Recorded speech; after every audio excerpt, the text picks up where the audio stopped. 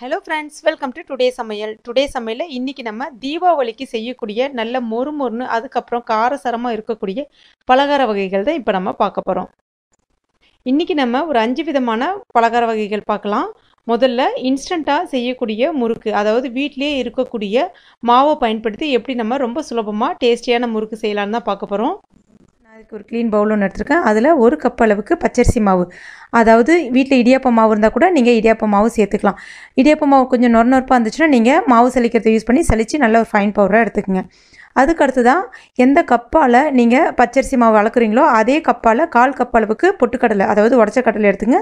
அதையும் மிக்ஸி ஜாரில் எடுத்துக்கிட்டு நல்லா ஃபைன் பவுடராக அடித்து அதையும் இப்போ இது கூட சேர்த்துக்கலாம். கண்டிப்பாக பவுடர் எல்லாமே நல்ல நைஸான பவுடராக அரைச்சிருக்கணும். இப்போ இது கூட அரை டீஸ்பூன் அளவுக்கு வெள்ளை எள்ளு சேர்க்குறேன். அதுக்கு அடுத்ததாக ஒரு அரை டீஸ்பூன் அளவுக்கு மிளகாய் பொடி சேர்த்துக்கலாம்.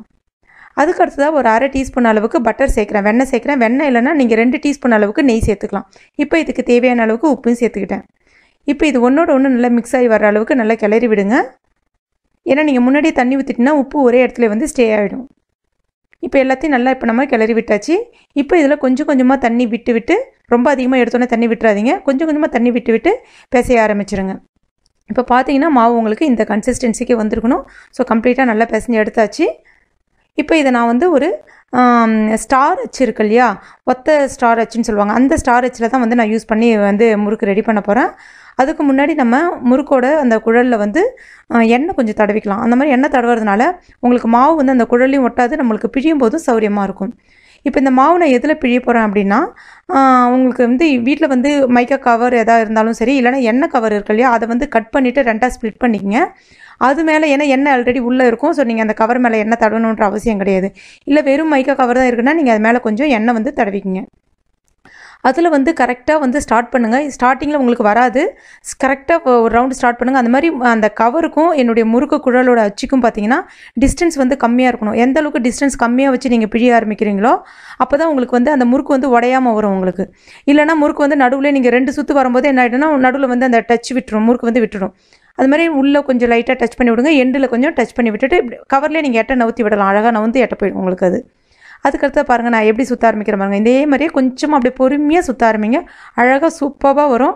அந்த மாதிரி அச்சு கவுனிங்க நல்ல கிட்டக இருக்குது பாருங்கள் கவருக்கும் அதுக்கும் அச்சுக்கும் பார்த்து இது கவருக்கும் பார்த்தீங்கன்னா ரொம்ப கிட்டக இருக்குது பாருங்கள் அந்த மாதிரி பண்ணால் தான் உங்களுக்கு நடுவில் வந்து உடையாமல் வரும். இப்போ எண்டும் உள்ளேயும் நல்லா அழுத்தி விட்டுருங்க. இதேமாரி ஒரு அஞ்சு அஞ்சு முறுக்காக நீங்கள் ரெடி பண்ணி வச்சுக்கிட்டு நம்ம எண்ணெய் சட்டியில் போட்டு ஆரம்பிச்சிடலாம். இப்போ எண்ணெய் வந்து பார்த்திங்கன்னா உங்களுக்கு ரொம்ப ஹாட்டாக இருக்கக்கூடாது. மீடியம் ஃப்ளேமில் வச்சுங்க. மிதமான சூடில் இருக்கும்போதே நீங்கள் வந்து இதை போட ஆரம்பிக்கணும். ரொம்ப சூடாக இருக்கும்போது போட்டுட்டிங்கன்னா பட்டுன்னு வந்து தீஞ்சு வந்துடும் இப்போ ஒன்று ஒன்றா போட ஆரம்பிச்சிடலாம். நான் எப்படி எடுக்கிறோன்னு இப்போ காமிக்கிறேன் பாருங்கள் உங்களுக்கு. இந்த மாதிரி எடுங்க. அவ்வளோதான் ரொம்ப ஈஸியாக வந்துடும் போடுறதும் ரொம்ப சௌரியமான விஷயம் அது. பார்த்தீங்கன்னா இந்த முறுக்கு வந்து உங்களுக்கு வெந்து வர்றதுக்கு ஒரு மூணு நிமிடம் ஆகும். அவ்வளோதான் மீடியம் ஃப்ளேமில் வச்சுருந்து நீங்கள் வறுபடுற இது வறுபடுறதுக்கு எவ்வளோ நேரம் ஆகும்னா மூணு நிமிடம் தான் ஆகும். அதுக்கு மேலே எடுத்துக்கவே எடுத்துக்காது. இப்போ மூணு நிமிடம் ஆயிடுச்சு. அதில் இருக்கக்கூடிய ஈர சலசலப்பு எல்லாமே அடங்கிடுச்சு. இப்போ நம்முடைய சுவையான முறுக்கு ரொம்ப அட்டகாசமாக ரெடி ஆயிடுச்சு. அடுத்ததாக ஓமப்பொடி இந்த ஓமப்பொடி குழந்தைங்களுக்கு ரொம்ப ரொம்ப பிடிக்கும். இது எப்படி செய்யுதுன்னு பார்க்கலாம். ஒரு கப் அளவுக்கு கடலை மாவு எடுத்துக்கிறேன். அதாவது கிராம் ஃப்ளார் அதில் ஒரு நாலு டேபிள் ஸ்பூன் அளவுக்கு ரா ரைஸ் ஃப்ளவர் அதாவது பச்சரிசி மாவு சேர்க்குறேன். பச்சரிசி மாவு வீட்டில் வந்து இடியாப்பம் மாவு இருந்தாலும் நீங்கள் சேர்த்துக்கலாம். ஆனால் சலிச்சிட்டு சேர்த்துக்குங்க. இப்போ இதில் ஒரு டேபிள் ஸ்பூன் அளவுக்கு சில்லி பவுடரும் சேர்த்துக்கலாம். அதாவது வெறும் மிளகாய் பொடி சேர்த்துக்கலாம். இப்போ இது கூடவே ஒரு அரை டேபிள் ஸ்பூன் அளவுக்கு சால்ட் உப்பையும் சேர்த்துக்கலாம். இப்போ இது கூட இன்னும் கொஞ்சம் டேஸ்ட்டுக்காக ஒரு அரை டேபிள் ஸ்பூன் அளவுக்கு பட்டர் வெண்ணையும் சேர்த்துக்கலாம். வெண்ணெய் வந்து உங்கள் குழந்தைங்களுக்கு ரொம்ப பிடிக்கும் அப்படின்னா இன்னும் ஒரு அரை டேபிள் ஸ்பூன் அளவு கூட நீங்கள் எக்ஸ்ட்ரா சேர்த்துக்கலாம். இன்னும் நல்லா சாஃப்டாகவும் இருக்கும் அதே டைமில் ரொம்ப டேஸ்டியாகவும் இருக்கும். இப்போ இந்த மாவை எல்லாத்தையுமே நம்ம கிளறி விட்டுடலாம். எல்லாத்தையுமே நல்லா கிளறி விட்ட பிறகு கொஞ்சம் கொஞ்சமாக தண்ணி தெளிச்சுட்டு கரெக்டான கன்சிஸ்டன்சிக்கு நம்ம பிசைஞ்சு எடுத்துக்கலாம். ரொம்ப அதிகமாக தண்ணி விட்டு பிசையாதீங்க.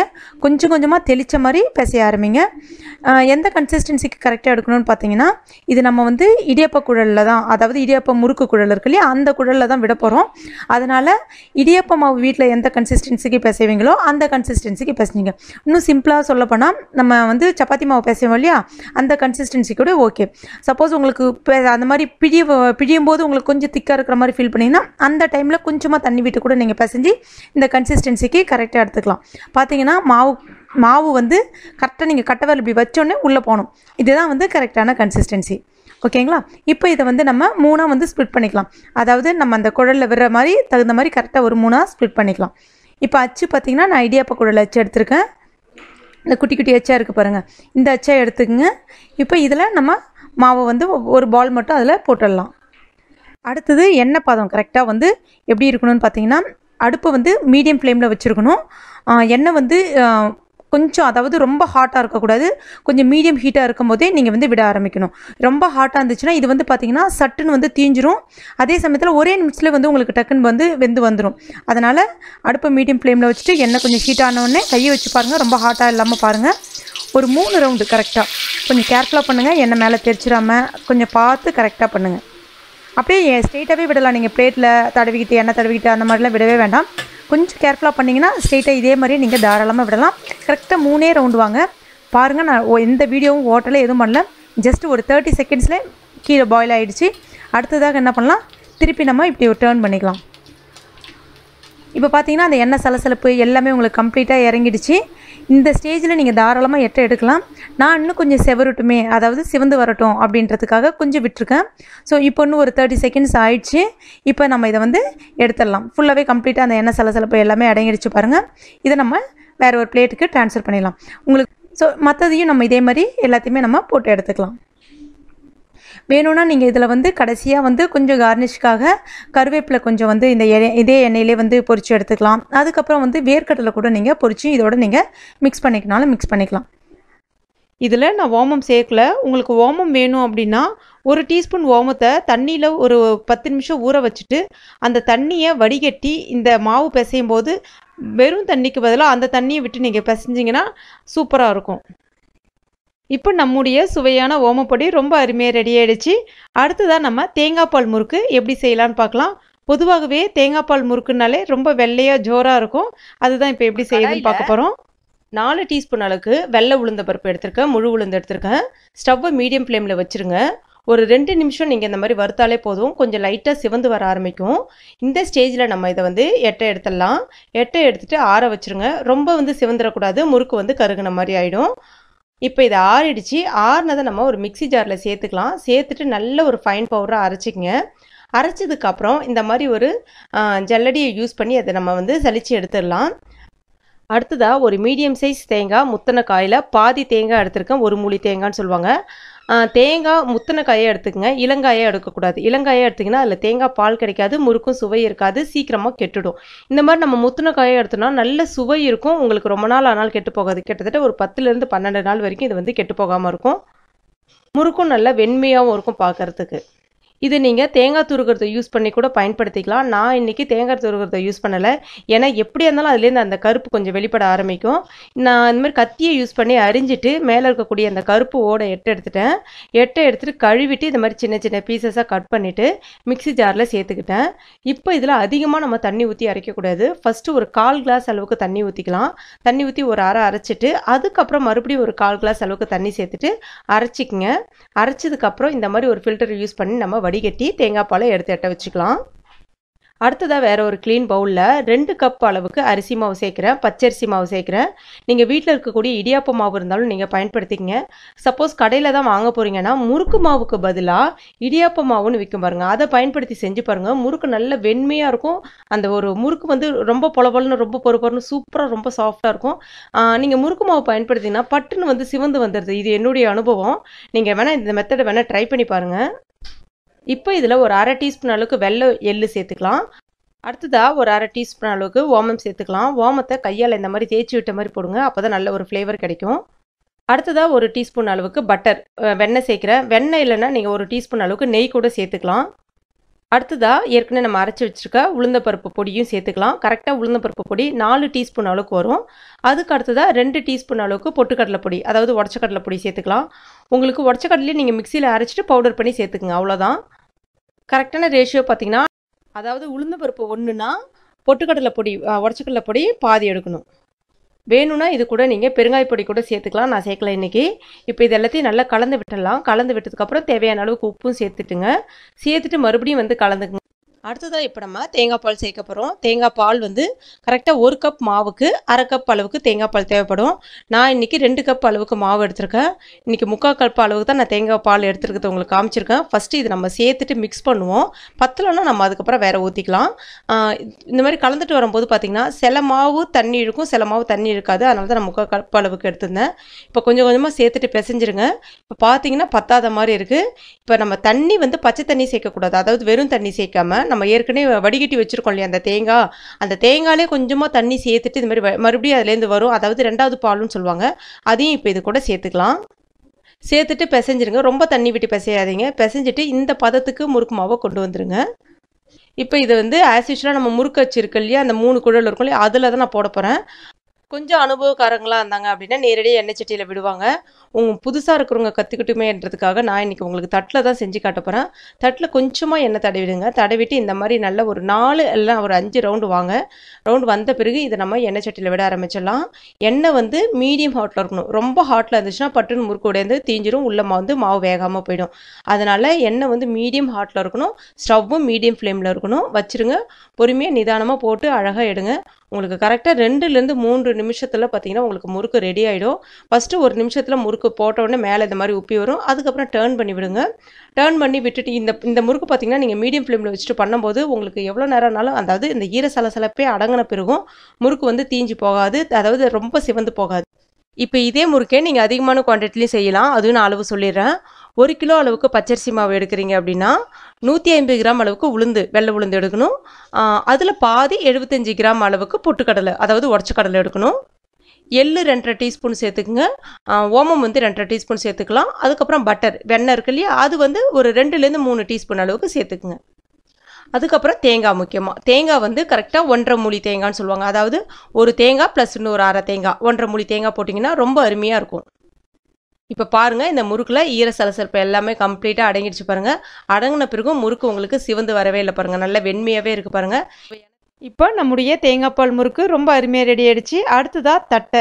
பொதுவாகவே தட்டை செய்யறதுக்கு நிறைய பேர் சிரமப்படுவாங்க. அப்படிலாம் இல்லாமல் எப்படி தட்டை ரொம்ப சுலபமாக செய்யலாம் தான் முக்கியமாக இந்த வீடியோவில் நம்ம பார்க்க போகிறோம் நான் இன்னைக்கு புழுங்கல் அரிசி எடுத்திருக்கேன். இட்லிக்கெலாம் பயன்படுத்துவோம் இல்லையா? குண்டுமணி அரிசி அதுதான் எடுத்திருக்கேன். ஒன்றரை அழகு அளவுக்கு எடுத்திருக்கேன். அதாவது கிராமில் முந்நூற்றி ஐம்பது கிராம் அளவுக்கு எடுத்திருக்கேன். பச்சரிசி பயன்படுத்தி செய்கிறத விட புழுங்கலரிசி பயன்படுத்தி செஞ்சிங்கன்னா இன்னும் நல்லாயிருக்கும். அந்த மாதிரி சாப்பாட்டு அரிசி வந்து பயன்படுத்தாதீங்க. இப்போ இது கூடவே ஒரு பன்னெண்டு வரமிளகா வந்து எடுத்திருக்கேன். காம்புகளை கிள்ளிட்டு எடுத்திருக்கேன். உங்களுக்கு காரம் இன்னும் கொஞ்சம் ஜாஸ்தியாக வேணும் அப்படின்னா நீங்கள் ஒரு பதினஞ்சுலேருந்து இருபது மிளகா கூட சேர்த்துக்கலாம். இப்போ இதை ஒரு மூணு தடவை கழுவிட்டு ஒரு ரெண்டு மணி நேரம் நம்ம ஊற வச்சா போதும். இப்போ இதை நம்ம முதல்ல அரைக்க போட்டுடலாம். அதுக்கு அடுத்து தான் இதுக்கு தேவையான பொருட்கள் என்னென்னு பார்த்துடலாம். அரைக்கும்போது கிரைண்டரில் அரை யூஸ் பண்ணி அரைங்க மிக்சியில் அரைக்காதீங்க. மிக்சியில் அரைச்சிங்கன்னா வந்து எல்லடை வந்து ஹார்டாக வரும். அந்த மாதிரி அரைக்கும் போது ரெண்டுத்தையும் ஒன்றா போட்டு தான் அரைக்கணும். ஆனால் முதல்ல மிளகாவை போட்டு மிளகாய் மஞ்சள் பிறகு அதுக்கப்புறம் அது கூடவே அரிசியை போட்டு அரைங்க. அந்த மாதிரி அரைக்கும்போது மாவு கொஞ்சம் கூட நொறுநொறுப்பு இல்லாமல் நல்லா மைய அரைச்சிக்கங்க. முக்கால்வாசி மாவு வந்து கொஞ்சம் திக்காக கொஞ்சம் கெட்டியாக அரைக்கிறதுக்கு பாருங்கள் ரொம்ப தண்ணியாக அரைச்சிடாதீங்க. அதுக்கு அடுத்ததாக இன்றைக்கி நான் ஒன்றரை கப் அரிசி எடுத்துருக்கேன். அதுக்கு முக்கால் கப் அளவுக்கு பொட்டுக்கடலை மாவு எடுக்கிறேன். அதாவது உடச்ச கடலை மாவு அளவுகள் வந்து பார்த்தீங்கன்னா இப்போ ஒரு கப் அரிசி எடுக்கிறீங்கன்னா அரை கப்பை வந்து பொட்டுக்கடலை எடுக்கணும். பொட்டுக்கடலை வந்து பொட்டுக்கடலையே இல்லாமல் பொட்டுக்கடலை மாவாக வந்து அளந்துக்கணும். அதுதான் கரெக்டான அளவு. அதுக்கு அடுத்ததான் ரெண்டு கொத்து கருவேப்பிலை இலைகள் நல்லா கழுவிட்டு இந்த மாதிரி பொடிசாக வந்து கட் பண்ணி வச்சுக்கோங்க. அப்புறம் அரிசி ஊற வைக்கும் போதே ரெண்டு டேபிள் ஸ்பூன் அளவுக்கு கடலைப்பருப்பு எடுத்திருக்கேன். அதையும் ஊற வச்சு எடுத்து வச்சுருக்கேன். அப்புறமா ரெண்டு டீஸ்பூன் அளவுக்கு வெள்ளை எடுத்துக்கலாம். அப்புறம் ஒரு டீஸ்பூன் அளவுக்கு பெருங்காய பொடி. அதுக்கப்புறம் உப்பு வந்து ஒரு ஒன்றரை டீஸ்பூன் அளவுக்கு சேர்த்துக்கலாம். அப்புறம் கொஞ்சமாக வந்து நெய் தேவைப்படும். நெய் இல்லைன்னா பட்டர் தேவைப்படும். அப்புறம் இது பொரிக்கிறதுக்கு தேவையான அளவுக்கு எண்ணெய். இப்போ மாவு வந்து நல்லா மஞ்சி எடுத்து வச்சுருக்கேன். நல்லா பாருங்கள் கொஞ்சம் கூட நொறு நொறுப்பு இல்லாமல் நல்லா மைய அரைச்சி எடுத்து வச்சுருக்கேன். இப்போ இதில் கொஞ்சம் கொஞ்சமாக பொட்டுக்கடலை மாவு வந்து சேர்த்துடலாம். அதாவது உடச்ச கடலை மாவு சேர்க்கும் போது பார்த்தீங்கன்னா எடுத்தோன்னே மொத்தமாக வந்து கொட்டிடாதீங்க. தேவைக்கேற்ப கொஞ்சம் கொஞ்சமாக சேர்த்துட்டு கலந்து விடுங்க. இப்போ எல்லா பொட்டுக்கடலை மாவும் சேர்த்த பிறகும் உங்களுக்கு மாவு கொஞ்சம் தண்ணியாக இருக்கிற மாதிரி ஃபீல் பண்ணிங்கன்னா கொஞ்சமாக பொட்டுக்கடலை மாவு சேர்த்துக்கலாம். தாராளமாக சேர்த்துக்கலாம் ஒன்றும் தப்பு இல்லை. எப்பயுமே பொட்டுக்கடலை மாவு அந்த அரிசி மாவோட சட்டுன்னு வந்து கலந்து வராது. அதனால் நல்லா வந்து பிசைங்க. பிசைஞ்சால் தான் ஒன்றோட ஒன்று நல்லா மிங்கிளாகி வரும். அப் அதுக்கப்புறமா நம்ம இதில் வந்து மற்ற பொருட்கள் வந்து ஒன்று ஒன்றா சேர்த்துக்கலாம். உப்பு வந்து கரெக்டாக ஒரு ஒன்றரை டீஸ்பூன் அளவுக்கு போட்டாலே போதும். சரியாக இருக்கும். இப்போ மாவு இந்த பதத்துக்கு நம்ம ரெடி பண்ணியாச்சு. அடுத்ததாக இது கூட வெண்ணெய் எடுத்திருக்கேன். வெண்ணெய் வந்து ஒரு டீஸ்பூன் எடுத்திருக்கேன். கொஞ்சமாக அப்போ தான் வந்து ஸ்டவ்வில் வந்து சூடு காட்டி எடுத்திருக்கேன். கொஞ்சம் வெது வெதுப்பாக இருக்குது நீங்கள் வெண்ணெய் இல்லைன்னா நீங்கள் நெய் கூட சேர்த்துக்கலாம். நெய்க்கு பதிலாக நீங்கள் ஒரு டீஸ்பூன் அளவுக்கு எண்ணெய் கூட சேர்த்துக்கலாம். ஏ ஏன்னா அந்த டேஸ்ட் வந்து உங்களுக்கு கொஞ்சம் நல்லாயிருக்கும் இப்போ இதையும் இது கூட சேர்த்துட்டு நல்லா நம்ம கலந்து விட்டுடலாம். இப்போ மாவு பதம் பார்த்தீங்கன்னா கையில் நீங்கள் உருண்டை பிடிச்சி பார்க்கும்போது கையில் ஒட்டக்கூடாது. கரெக்டாக வந்து பார்த்தீங்கன்னா முறுக்கு மாவு பதத்துக்கு இருக்கணும். இதுதான் வந்து மாவோட பதம். அதுவும் இன்றைக்கி நம்ம குறிப்பாக பார்த்தீங்கன்னா இந்த இன்னைக்கு எல்லடையே அதாவது இந்த தட்டையை வந்து எப்படி சுலபமாக செய்யலாம் தான் மெயினாக பார்க்க போகிறோம் அந்த மாதிரி நம்ம வந்து ஏற்கனவே உருட்டி வச்செல்லாம் செய்ய போகிறதில்ல சைடில் உருட்டிகிட்டே இருக்க போகிறோம் எண்ணெய் சட்டியில் போட்டு எடுத்துகிட்டே இருக்க போகிறோம் ஸோ இது வந்து ரொம்ப ரொம்ப சிம்பிள் மெத்தடு அடுத்ததாக நம்ம இந்த மாதிரி சின்ன சின்ன உருண்டைகளாக வந்து ஒரு பத்து பத்து உருண்டைகளாக பிடிச்சி வச்சுக்கிட்டோன்னா நமக்கு வந்து போட்டு எடுக்கிறதுக்கு ரொம்ப சௌரியமாக இருக்கும். இன்னொன்று உருண்டைகள் பிடிக்கும்போது ரொம்ப சின்ன உருண்டைகளாக பிடிங்க. பெரிய உருண்டைகளாக பிடிச்சிங்க அப்படின்னா உங்களுக்கு தட்டும் போது ரொம்ப திக்காயிடும். அப்போ வந்து தட்டை போடுறதுக்கு நல்லா இருக்காது. தட்டை சாப்பிட்றதுக்கும் நல்லா இருக்காது. அடுத்ததாக நான் இன்றைக்கி பிளாஸ்டிக் கவர் வந்து பருப்பு கவர் தான் என்கிட்ட இருக்குது அதை வச்சு தான் பயன்படுத்தி பண்ண போகிறேன் உங்ககிட்ட பெரிய லாங் ஷீட் பெரிய பிளாஸ்டிக் கவர் இருந்துச்சுன்னா நான் சொல்கிற மெத்தடை நீங்கள் அப்படியே ஃபாலோ பண்ணிக்கோங்க. இப்போ இந்த கவரை கட் பண்ணிவிட்டு உள்பகுதியை நான் பயன்படுத்துகிறேன் உள்பகுதியில் கொஞ்சமாக ஃபஸ்ட்டு எண்ணெய் தடவிக்கிறேன். அதுக்கு தான் ஒரே ஒரு இதை மட்டும் எடுத்து ஒரே ஒரு உருண்டை மட்டும் எடுத்து வச்சுட்டு அதுக்கப்புறம் மேலே வந்து இன்னொரு கவர் வைக்க போகிறோம் அதில் அந்த கவர்லேயும் உள்பக்கமாக எண்ணெய் தடவிட்டு அந்த கவரை இந்த மாதிரி வச்சுக்கணும். அந்த மாதிரி பார்த்தீங்கன்னா இது வந்து நம்ம வீட்டில் இந்த மாதிரி ஃப்ளாட் அண்ட் கா டப்பா வந்து இருக்கும் இல்லையா பாக்ஸு இந்த பாக்ஸை வந்து அந்த உருண்டை மேலே வந்து வச்சு ஒரு அழுத்தை மட்டும் அழுத்துங்க.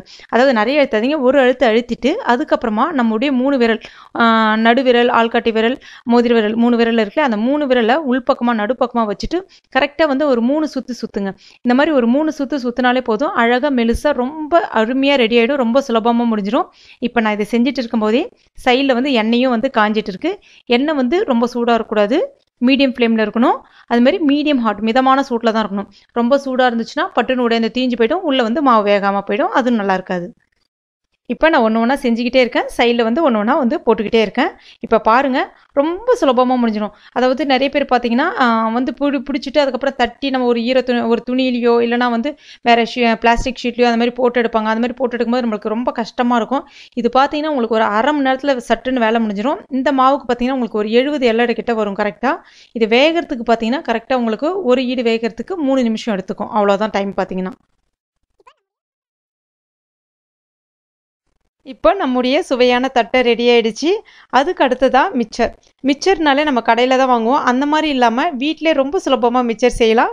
இது இப்போ எப்படி செய்யுதுன்னு பார்க்க ஆரம்பிச்சிடலாம். நம்ம பூந்திக்கு தேவையான மாவை ரெடி பண்ணிக்கலாம். ஒரு கப் கடலை மாவு எடுத்துக்கலாம்.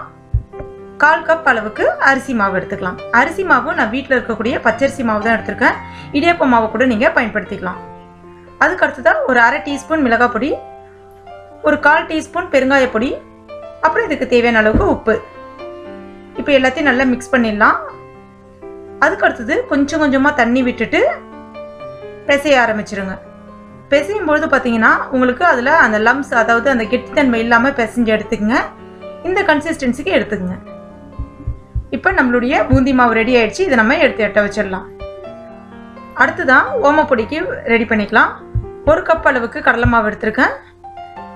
கால் கப் அளவுக்கு அரிசி மாவு. அதே பச்சரிசி மாவு தான் சேர்க்குறேன்.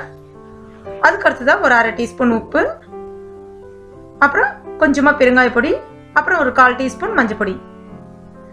அதுக்கப்புறம் எண்ணெய் வந்து இதை போகிறதுக்காக சூடு பண்ணி வச்சுருக்கேன். அந்த எண்ணெயை ஒரு டேபிள் ஸ்பூன் அளவுக்கு நான் இது கூட சேர்த்துக்கிறேன். இப்போ இது எல்லாத்தையுமே மறுபடியும் நம்ம மிக்ஸ் பண்ணி விட்டுடலாம். இப்போ கொஞ்சம் கொஞ்சமாக தண்ணி தெளிச்சுட்டு சப்பாத்தி மாவு பதத்துக்கு இல்லாமல் அதை விட கொஞ்சம் தண்ணியாக இருக்கிற மாதிரி பிசைஞ்சு எடுத்துக்கங்க. ஏன்னா சப்பாத்தி மாவு பத பதத்துக்கு நம்ம பிசையும் போது பார்த்தீங்கன்னா அவங்களுக்கு அந்த இடியாப்ப அச்சில் வந்து பிழியறதுக்கு ரொம்ப கஷ்டமாக இருக்கும் டைட்டாக இருக்கும். ஸோ இந்த கன்சிஸ்டன்சிக்கு எடுத்துக்கங்க. இப்போ எண்ணெய் சைடில் நான் சூடு பண்ணிட்டு வச்சுருந்தேன். இப்போ மீடியம் ஹாட்டாக இருக்கணும். எண்ணெய் ரொம்ப ஹாட்டாகவும் இருக்கக்கூடாது அது மாதிரி ஸ்டவ்வை மீடியம் ஃப்ளேமில் வச்சுருங்க. ரொம்ப ஹை ஃப்ளேமில் வைக்காதீங்க. இந்த மாதிரி ஒரு சல்லிக்கண்டு இருந்துச்சு அப்படின்னா அதில் எடுத்துக்கங்க.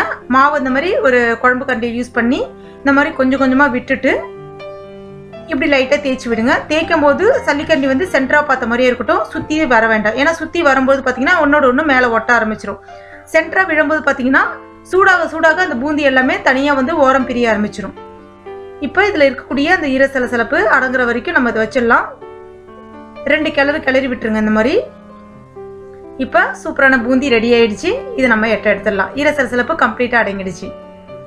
அடுத்ததான் ஓமப்பொடி போட்டுடலாம். நம்ம இடியாப்பச்சில் தான் ஓமப்பொடி பிழியணும். மாவு வந்து இதில் ஃபில் பண்ணிக்கலாம். ஃபில் பண்ணிவிட்டு அதே எண்ணெயில் ஒரு மூணுலேருந்து ஒரு நாலு ரவுண்டு வாங்க. அதிகமாக விடாதீங்க. அந்த மாதிரி ஓமப்பொடி போடும்போது மீடியம் ஃப்ளேமில் வச்சுருங்க ஸ்டவ்வை ஜஸ்ட் ஒரு நிமிஷம் தான் ஆகும். அது வேகிறதுக்கு அடியில். ஒரு நிமிஷம் ஆயிடுச்சு. இப்போ நம்ம இதை திருப்பி விட்டுடலாம். மறுபடியும் இது வேகிறதுக்கு ஒரு நிமிஷம் தான் ஆகும் இப்போ பார்த்தீங்கன்னா அதில் இருக்கக்கூடிய அந்த ஈரசல சில பிளமை அடங்கிடுச்சு. நம்ம இதை எட்டு எடுத்துடலாம். அடுத்ததான் கால் கப் அளவுக்கு முந்திரி பருப்பு வறுத்தலாம். இப்போ இதெல்லாமே வறுபடுறதுக்கு பார்த்தீங்கன்னா உங்களுக்கு ஒரு ரெண்டு நிமிஷம் உள்ள ஒரு நிமிஷம் தான் ஆகும் மேக்ஸிமம் டைம் எடுத்துக்கும். இப்போ முந்திரி பருப்பும் வறுபட்டுடுச்சு எட்டு எடுத்துடலாம். அடுத்ததாக அதே கால் கப் அளவுக்கு நம்ம வேர்க்கடலை சேர்த்துக்கலாம். இப்போ வேர்க்கடலையும் உங்களுக்கு வறுபட்டுடுச்சு எட்டு எடுத்துடலாம். அடுத்ததான் உடச்சக்கல்ல. அதாவது பொட்டுக்கல்லையும் சேர்த்துக்கலாம். பொட்டுக்கல்லி நல்லா பின்னரி கிளறி விடுங்க. இப்போ பொட்டுக்கல்லி நல்லா ஃப்ரை ஆகி வந்துடுச்சு இதையும் நம்ம இப்போ ஏற்ற எடுத்துடலாம். அடுத்ததாக கால் கப்புக்கும் குறைவாக அவல் எடுத்துக்கலாம். இப்போ அவள் நம்ம வந்து பொறிக்க ஆரம்பிச்சிடலாம். அவள் போட்டோன்னே வந்து பொரிஞ்சிடும் அதனால ஃப்ளேமை வந்து கம்ப்ளீட்டாக வந்து சிம்மில் வச்சுருங்க. ஃபுல்லாகவே லோவை வச்சுட்டு ஃப்ரை பண்ணுங்கள் இப்போ அவளும் பொரிஞ்சிடுச்சு நம்ம எட்ட எடுத்துடலாம். அதுக்கு அடுத்ததாக பொரி வந்து ஆப்ஷனல் தான். பொரி சேர்த்திங்கன்னா இன்னும் நல்ல டேஸ்ட் கொடுக்கும். பொரி வந்து நம்ம அப்படியே போட்டு வந்து ஃப்ரை பண்ணிங்கன்னா பட்டுன்னு தீஞ்சிரும். அதனால இதே மாதிரி கரண்டிலே வச்சு ஃப்ரை பண்ணிவிடுங்க அடுத்ததான் பொரி எப்படி ஃப்ரை பண்ணாமோ அதே மாதிரியே கருவேப்பிலை இலைகளும் அதே மாதிரி வந்து ஃப்ளேமஸ் ஃபுல்லாக கம்ப்ளீட்டாக சிம்மில் வச்சுட்டு இந்த மாதிரி ஃப்ரை பண்ணிக்கலாம். இது கூட இன்னும் உங்களுக்கு டேஸ்ட்டுக்கு வேணும்னா நீங்கள் கார்ன்ஃப்ளெக்ஸ் இருக்கு இல்லையா அதையும் வந்து பொறிச்சிங்கன்னா இன்னும் ரொம்ப டேஸ்ட் கொடுக்கும். இப்போ நம்ம எல்லாமே ரெடி பண்ணியாச்சு. இப்போ நம்ம எல்லாத்தையும் வந்து மிக்ஸ் பண்ண ஆரம்பிச்சிடலாம். இப்போ ஓமப்பொடியை நல்லா நொறுக்கி விட்டுக்கலாம். ரொம்ப பொடியாக நொறுக்கி விட்டுறாதீங்க. ஓரளவுக்கு ஒரு என்ன சொல்கிறது ஒரு கால் இன்ச் அளவுக்கு பார்த்து நொறுக்கி விட்டுருங்க. இப்போ இந்த மாதிரி ஒரு பாத்திரம் ஒன்று எடுத்துக்கலாம். அதில் நம்ம ஏற்கனவே ரெடி பண்ணி வச்சுருக்க ஓமப்பொடியும் சேர்த்துக்கலாம். அப்புறம் பூந்தி பூந்தி ப்ளஸ் கருவேப்பிலை வச்சுருக்கேன். அதையும் இது கூட சேர்த்துக்கலாம். வேணும்னா ஒரு அஞ்சாறு பல் பூண்டை கூட தட்டி ஃப்ரை பண்ணி இதோட சேர்த்திங்கனாலும் நல்லாயிருக்கும் அதுக்கு அடுத்து தான் வேர்க்கடலை உடச்சக்கடலை அதுக்கப்புறம் முந்திரி பருப்பு அதையும் இது கூட சேர்த்துக்கலாம். அப்புறம் பொரி அவல் அதையும் இப்போ இது கூட சேர்த்துக்கலாம். இப்போ நம்ம ஏற்கனவே வந்து இதில் வந்து மிளகாப்பொடி போட்டிருக்கோம். அதனால் பார்த்து இதில் ஒரு அரை டீஸ்பூன் அளவுக்கு மிளகாப்பொடி போடுங்க. அப்புறம் ஒரு அரை டீஸ்பூன் உப்பு. உப்பு ஜாஸ்தி போட்டுறாதீங்க. கொஞ்சம் பார்த்து போடுங்க. ஏன்னா ஏற்கனவே மற்றதுக்கு போட்டிருக்கோம். இப்போ இது எல்லாத்தையுமே நம்ம ஒன்றோட ஒன்று மிக்ஸ் பண்ணுறதுக்காக இந்த மாதிரி குலுக்கி விட்டுடலாம். இப்போ நம்முடைய மொறுமொறு மிச்சர் ரொம்ப குயிக்காக ரெடி ஆகிடுச்சு இது நீங்கள் வீட்டிலே செய்ய ஆரம்பிக்கலாம். கடையில் வாங்கி சாப்பிட்றதோட வீட்டில் ஃப்ரெஷ்ஷாக செஞ்சு சாப்பிடும்போது ரொம்ப சுவையாக இருக்கும். இப்போ நம்முடைய தீபாவளி கார வகைகள் அனைத்துமே பார்த்தாச்சு. அடுத்ததாக பார்த்தீங்கன்னா நான் முறுக்கு ரெசிபிஸ் போட்டிருக்கேன். அதாவது இன்னும் வந்து வீட்டிலே எப்படி நம்ம ஒரு கிலோ மாவுக்கு ரெடி பண்ணலாம் அப்படின்ற மாதிரி நான் முறுக்கு ரெசிபிஸ் போட்டிருக்கேன்.